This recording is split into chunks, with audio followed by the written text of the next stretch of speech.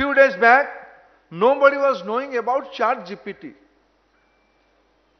But nobody is now not affected by ChatGPT. Everybody is affected by ChatGPT.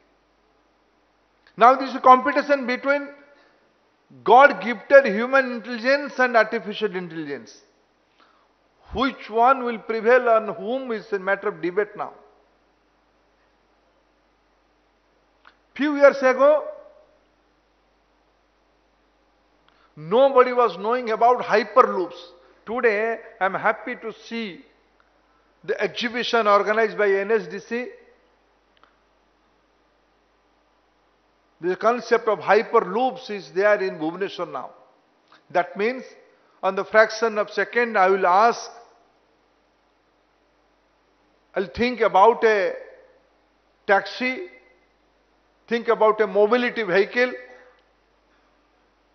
On my glass, there will be a system.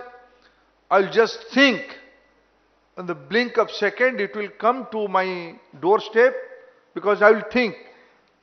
My AI will catch my natural intelligence. The technologies are not far away. It will be on the reality. Siri is now doing all such things. I am giving command to Siri, Siri go and fix an appointment with my dear elder brother Behra Saab and check his, check his appointment whether he is free or not. After a few seconds Siri is talking to Mr. Behra's telephone and coming back to me, yes he is not, he is not available. Sorry. Mr. Behra said you are not permitted to meet him. This is reality. Now further things will go. I will, my, my, uh, this ChatGPT, AI and my natural intelligence will talk together. My dear friend Atul Kasab is available or not.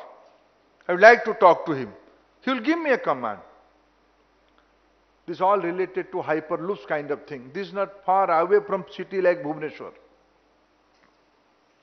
Nobody was knowing about the moonlighting. I was not knowing the concept of moonlighting. That means a person can work all my IT friends are now laughing. Whether it's a bad thing or a good thing, it has time will say. Some company are on this opinion. No, no, no, this war ethics is compromised.